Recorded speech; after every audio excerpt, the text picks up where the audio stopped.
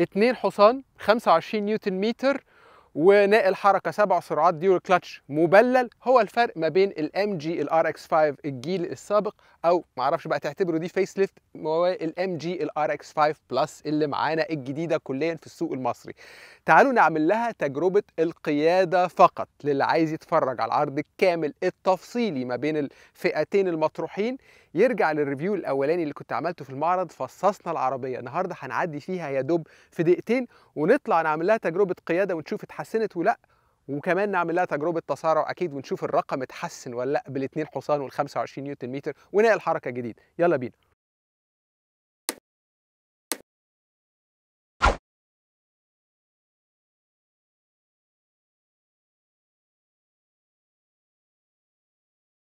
العربية اللي بنصورها النهارده دي أعلى فئة صاحب العربية جايبها بمليون وربع بالظبط.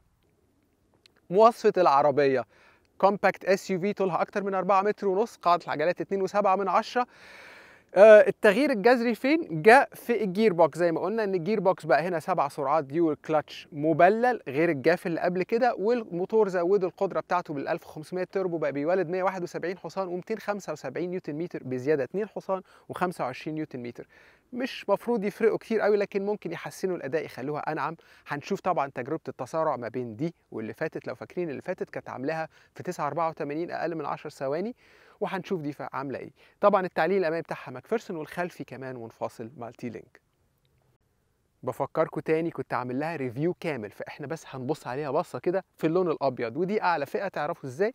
إن فيها كاميرا أمامية واحدة من الحاجات المميزة قوي. وطبعا التأثير من Lexus باين قوي في التصميم الأمامي ولكن أنا بشوف إن دي أحلى بكتير من ال RX 5 العادية. وفيها حركات حلوة وطبعا اللون الأبيض أحلى بكتير من الأسود اللي عملت لها عرض لأن باين فيه كل حاجة في العربية.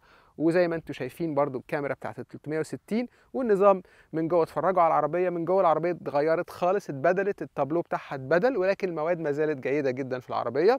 اللي يفرق معانا إيه؟ الكاوتش في حالة العربية دي كنت علقت عليه قبل كده برضو. Michelin Pilot Sport فردة هايلة 235 45 19 بوصة. هنشوف ال RX 5 Plus عملوا حاجة في التعليق بتاعها خلوها أنعم شوية ولا لسه ناشفة زي اللي قبلها. وعندي كروم من فوق برضو شكلها حلو العربية مفيش شك. وبص على العربية من الظهر. حلوة الأنوار برضو اتغيرت وعندك فتحات آه شكمان من تحت. زائفه تماما يا جماعة.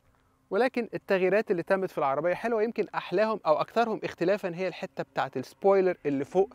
ده شكله مختلف ومعمول بفتحتين وعلقت عليه. كفاية كلام نجرب القيادة. يلا بينا.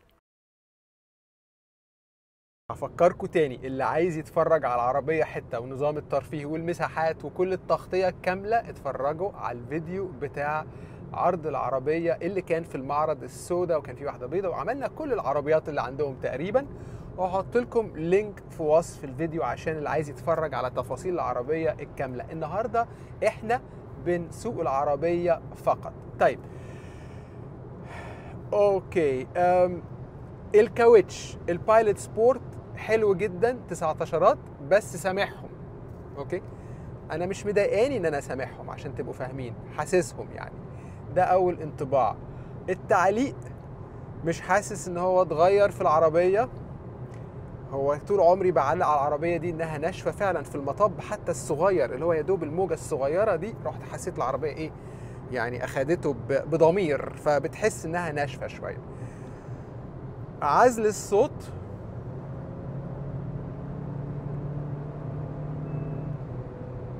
عزل صوت الموتور مش وحش بس الهوا نص نص مش بجودة عزل صوت الموتور. يعني سامع هوا برضه. مفيش حاجة اتغيرت. قوي في العربية المواد كلها كويسة في العربية وال interior اتغير برضه بفكركم عشان عملناها قبل كده عشان بس أنا عارف حد يقول لي ليه ما استعرضتش الأبعاد والحاجات دي كلها؟ أنا عملتها بالكامل. إحنا بس بنجرب القيادة. نقل الحركة. تعالوا نتكلم عليه. لا طبعا في تغيير كبير قوي. قبل كده نقل الحركه ما كنتش عارف إزاي هو dual clutch اللي في ال MG 6 وكل العربيات اللي قبل كده تحس كل حركة فيهم يروح عاملك كده. كل نقلة ما كانش هو dual clutch كان مرحرح عشان إيه؟ ما يبوظش الكلاتشات وكنت شرحت لكم نظريتي. okay.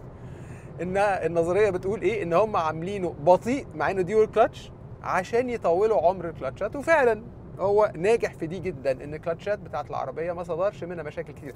ممكن يقول لك آه overheat ويركن العربية بس المفروض بقى مع الزيت ما عندناش القصص دي خالص.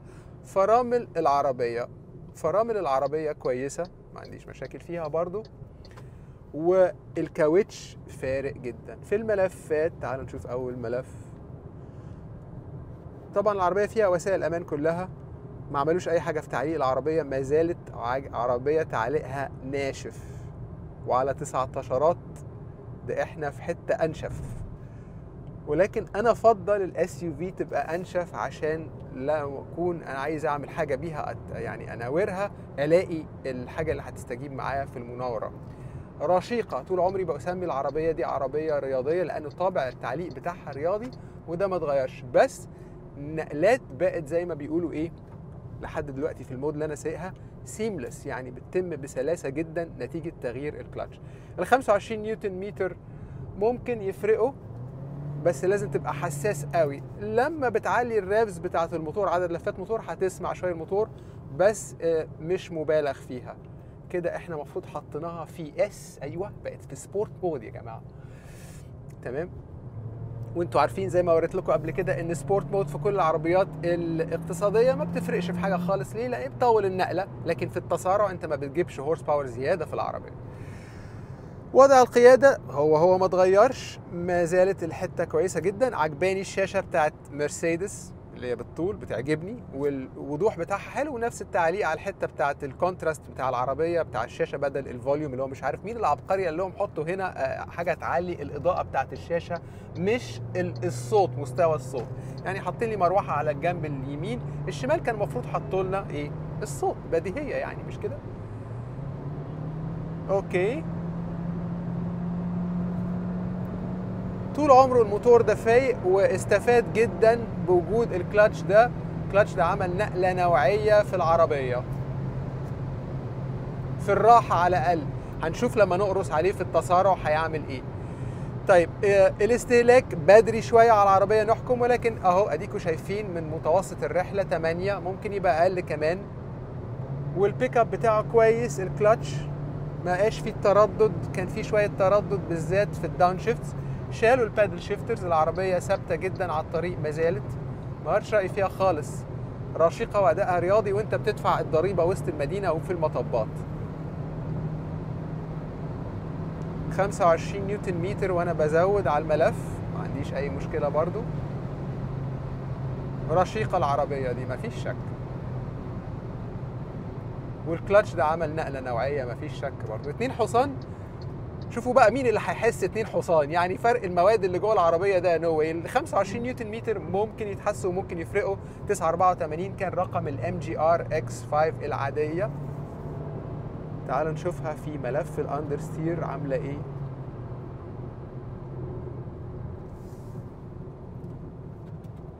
ناشفة بنت الإيه؟ والكاوتش هايل. يعني هي بتتمايل قليل قوي قوي. فيها شوية شوية من الحركة دي لكن مش مبالغ فيه خالص. بالعكس أنا ممكن أتهور بيها أكتر من كده لو حبيت. الكاوتش هو كمان واحد من الأسرار. أنتوا عارفين الكاوتش ده مصنعين كتير جدا بيعملوا بيه ألعاب جامدة جدا. عجباني سواقتها. عجباني. تعالوا نشوف التسارع فرق ولا لأ؟ يلا بينا. تعالوا نعمل تجربة التسارع ده dual clutch آه نحطها الأول في ال drive أيوة أول حاجة نحطها نسوق العربية في ال drive ونحطها في S نقفل الثبات الإلكتروني. traction control بحب قوي العربيات اللي تدوس الدوسة يروح قافل على طول. الدنيا بسيطة وسلسة. آه، أقفل الإزاز درجة الحرارة للمهتمين بالأرصاد 27 درجة. هديلها شوية boost كده. نشوف ال gearbox بتعمل إزاي. مش عارف. هنشوف.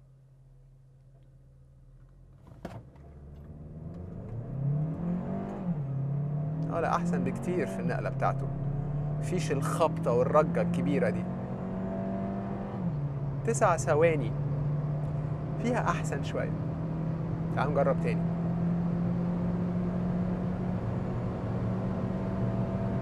شوف السرعة القصوى وال braking point كمان عشان نجرب الفرامل. ودي ال braking point بتاعت العربية بتاعت الطريق اللي أنا بجرب فيه. فرامل كويسة. هي مش عربية رياضية أكيد فرامل كويسة قوي بس طبعا بت fade شوية بتتعب شوية تحت السرعة بس دي سرعة فائقة في الشارع المقفول. ولكن فراملها كويسة وسهل التنبؤ بيها كمان ما اتغيرتش. هي هي. السر فعلا هو الكاوتش. شفتوا كمان ما فرقش أو أنا ما فرقتوش قوي وده اللي حسن الرقم. تعالوا نجرب تاني. هل أقدر أحسن؟ تعالوا نشوف. أهو. okay. اقفل الإزاز هقفل الإزاز خالص. ما علينا. أطول ال boost شوية يمكن يحسن. okay.